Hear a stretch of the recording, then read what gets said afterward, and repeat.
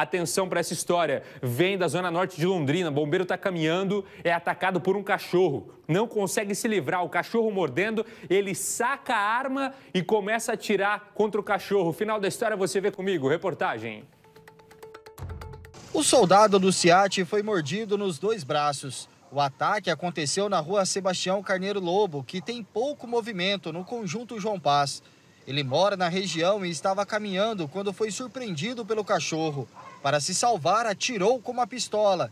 Baleado, o cão morreu e soltou a vítima. A viatura do, do Corpo Bombeiro SIAT veio até o um, um local para poder fazer o primeiro atendimento. Foi solicitado o apoio médico do SAMU, até em virtude da gravidade dos ferimentos, né, que é um animal de grande porte, que acabou mordendo os dois braços desse bombeiro. Muito sangramento, né, quem conseguiu visualizar aí, muito sangramento.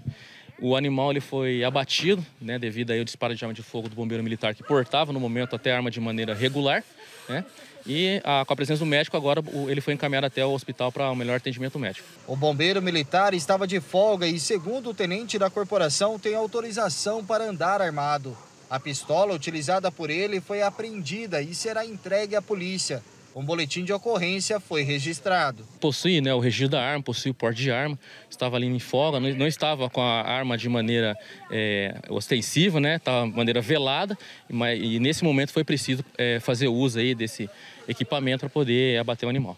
Depois da mordida, o soldado do SIAT perdeu muito sangue e precisou de atendimento dos colegas de trabalho com o apoio médico do SAMU.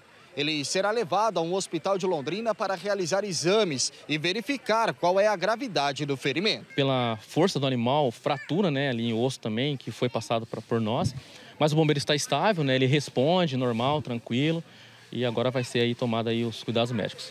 Os moradores ficaram assustados com o barulho do tiro. Apesar da tristeza com a morte do animal, também ficaram apreensivos, já que outras pessoas poderiam ter sido vítimas do cachorro solto na rua. Se tivesse atacado uma criança, uma, um idoso, uma pessoa mais fragilizada, um desfecho pior poderia ter acontecido.